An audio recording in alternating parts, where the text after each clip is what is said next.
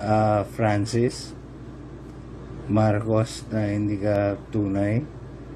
Um, nakakahiya kang tao. Um, siguro humingi ka ng you're a delusional motherfucker.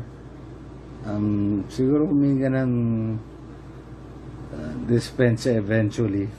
Uh, makukulong at makukulong ka eventually.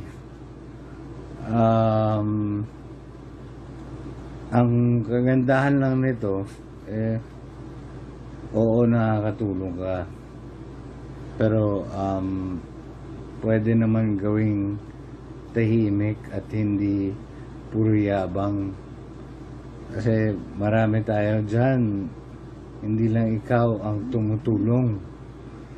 Ah, may mga tahimik na tao na tumutulong para yung mga tao.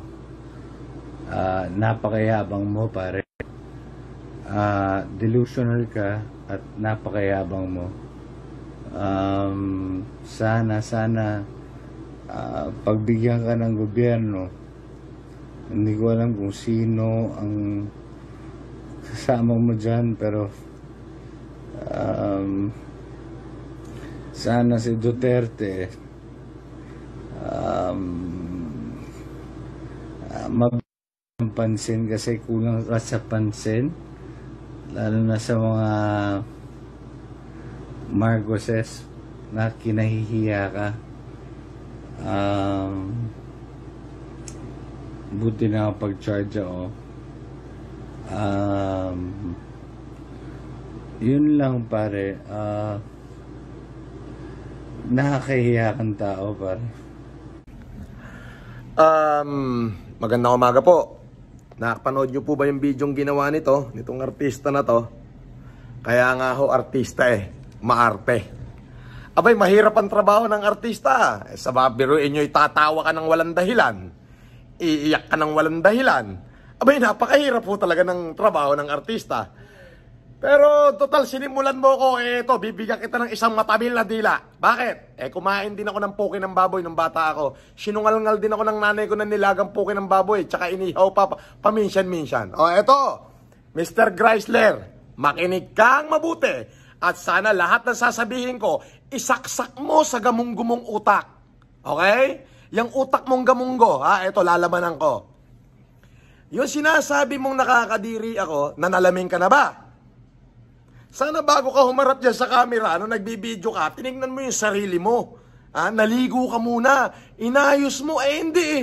Nung humarap ka sa camera, mukha kang high na high.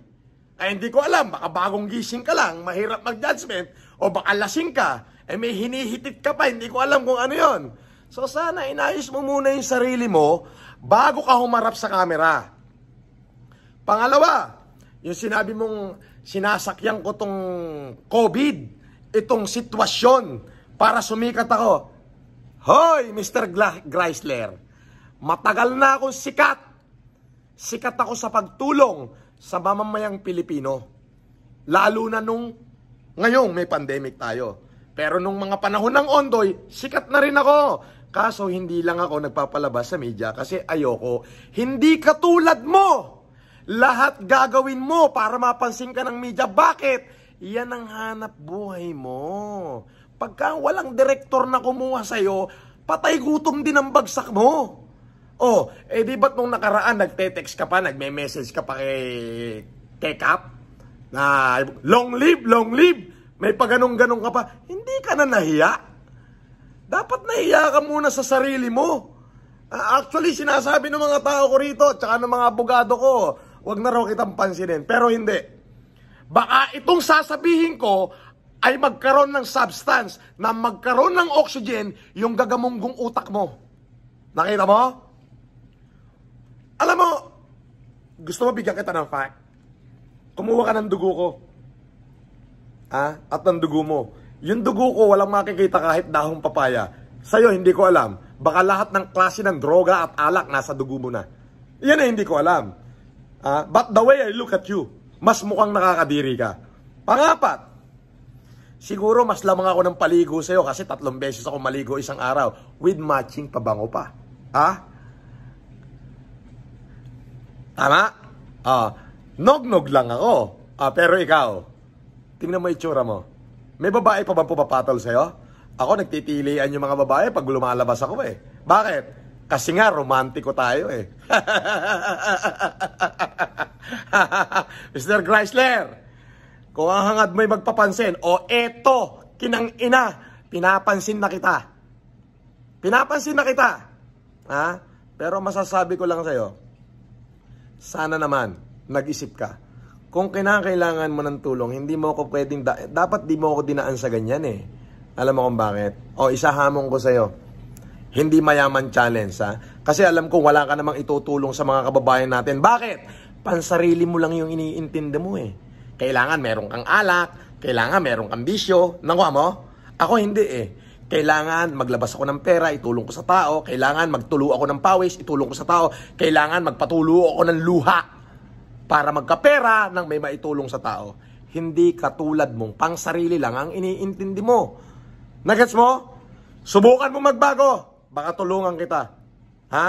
Ngayon, kung sasagutin mo pa rin itong sinasabi ko, and then let's bring it on. Pwede tayo magdaldalan. Pagbubuhulin ko na kayo. Nagets mo? Pwede akong daldalan. Ha? Yan ang sinasabi ko. Sana matuto muna kayong mag-isip. Kasi nagmumukha kang supot, sungaw, papoging, tungaw. Nakuha mo? Ha? Nakuha mo yung kanta ni, ni Kiko? Ha? Ni Kiko Alpabeto? Nagmumukha kang supot, sungaw, papoging, tungaw. Sa susunod na mag-video ka, maligo ka muna. Ayusin mo yung sarili mo nang kapani-paniwala kang hindot ka. Okay? Gandang umaga. Yan ang sagot ko sa'yo.